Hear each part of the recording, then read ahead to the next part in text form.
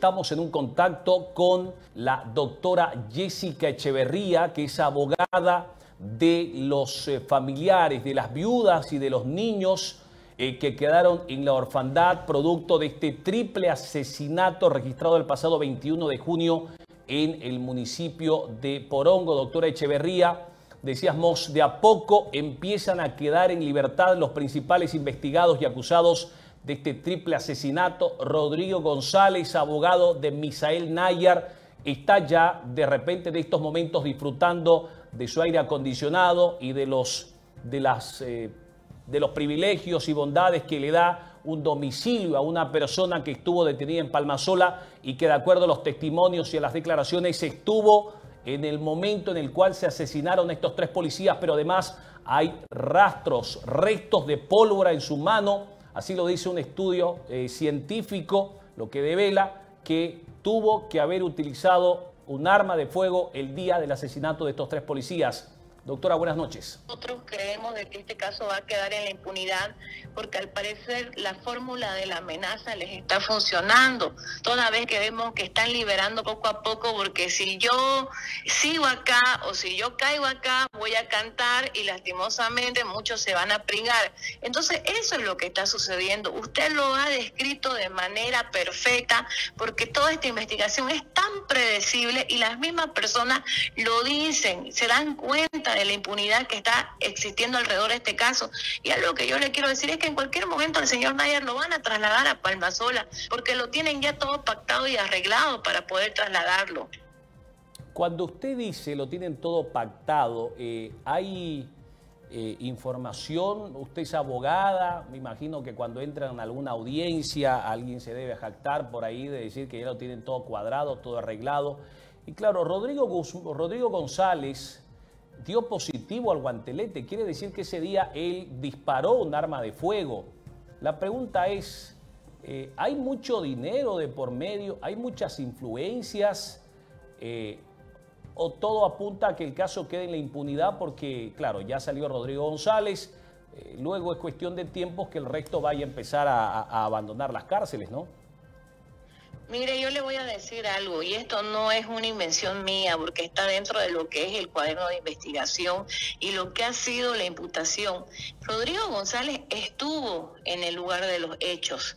Rodrigo González está a la prueba de balística del ICUS realizado por el perito Orlando Camacho, que él da positivo dio positivo a la prueba de nitrato y nitrito. Rodrigo González acude a ese lugar y él hasta este momento no quiere decir quién es el famoso general que le da la llamada.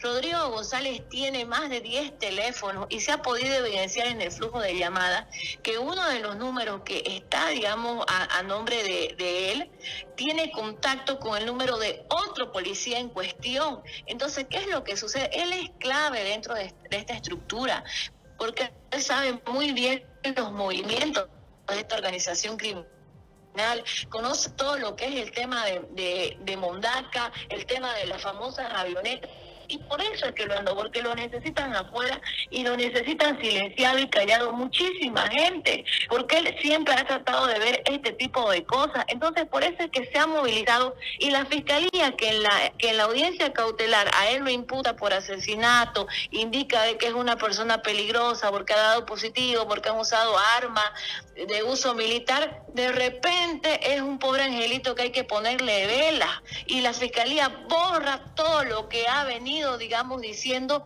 durante el trayecto de este proceso que se encuentra paralizado y que no se ha hecho ninguna investigación más. Ahora, ¿por qué, digamos, nosotros tenemos conocimiento de eso? Porque nos damos cuenta que la Fiscalía está coordinando y está a favor del señor Nayar.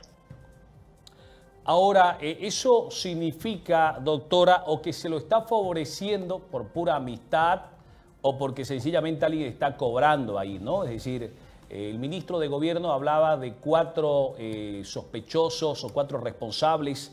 Uno de ellos, don Rodrigo González, que ahora está en libertad. Yo no sé, no sé si la Fiscalía ha cambiado de opinión, eh, si el juez ha sido muy benevolente o si la oposición, ese, ese video no tiene nada que ver, por si acaso, es el presidente Arce, o si la oposición ha sido bastante benevolente. ¿Quién está poniendo esa imagen allí del presidente Luis Arce? Gracias. Despierten, por favor. Muy amable. Doctora, ¿qué, ¿qué, cree usted que hay detrás de todo esto? Mire, yo le voy a decir algo. Yo creo que esta organización venía recibiendo protección no solamente, digamos, de policía, sino también de otras personas. Hay amistades que tienen que salvar, número uno, políticos que tienen que cuidar y autoridades que tienen que proteger, y está el gran poder económico que maneja el señor Misael Nayar, que eso nadie se lo va a discutir. Aquí hay un tema de amistad, poder y que por eso están beneficiando. Y miren ustedes, peligrosa esta contradicción, porque el momento de realizarse, digamos, todo lo que viene a ser la detención, cuando presentan este caso, el, ¿qué dicen ellos al momento de imputar? De que son ya Rodrigo González, el señor Beltrán y el señor Misael Nayar los que han sido imputados por el delito del triple asesinato. Ok, perfecto. Luego salen con que aparecen dos testigos protegidos y que los dos testigos protegidos han identificado solamente a Misael Nayar, a su hermano, al señor Edgar Dorado, que está prófugo y que nadie lo busca, alias jefe, y al señor Góngora. Sin embargo, uno dice, ¿cómo si los testigos protegidos identifican a un mayor y al mayor también lo liberan? Entonces, está todo un majadito, por así decirlo, esta investigación, toda una ensalada rusa, porque lastimosamente el Ministerio Público ha ido dando vueltas en su propio laberinto y ahora no sabe cómo salir de esta por favorecerlo a Rodrigo González y al señor Nayar. Usted habla de una ecuación, amistad, poder y plata. Eh, ¿Quiénes estarían apadrinando a estas personas que empiezan a recobrar ya su libertad eh, de manera paulatina? Quienes manejan la justicia, quienes ostentan el poder no hay que ser, digamos, muy inteligente para darnos cuenta que esta investigación está dirigida estrictamente por la fiscalía, ni siquiera podemos decir por la policía. Entonces nosotros vemos que la policía dice este sí, este no, y qué sucede que después de decir este este va a ser citado, este no va a ser citado, luego van a comenzar, digamos, el tema de a ah, este va, este va a ser sobreseído, este no va a ser sobreseído. Y aquí está corriendo hartísimo dinero, muchísimo dinero, Junior, pero muchísimo muchísimo dinero. Por eso es que yo le aseguro que en cualquier momento el Nayar va a ser trasladado por sola. ¿Y en qué ha quedado las promesas de justicia? ¿En qué ha quedado el compromiso de autoridades como el ministro de Gobierno de dar con los responsables cuando ya hay uno de ellos o por lo menos una persona que hay y, hay pruebas, hay indicios, eh, hay elementos, ¿no? Porque eh, la prueba eh, de resto de pólvora, dice que sí, Rodrigo González manipuló un arma el día de este triple asesinato, pero sucede que en estos momentos puede estar igual que usted o igual que cualquier persona que no ha cometido ningún delito, echado en la comodidad de su cama, de su casa, con aire acondicionado, con una persona que de repente le, le sirva un churrasco, es decir, eh, no se puede pues tratar de igual manera a una persona que está involucrada en un hecho delictivo que una persona de bien, ¿no? No importa que tenga plata y que la persona de bien eh, sea una persona de escasos recursos, ¿no?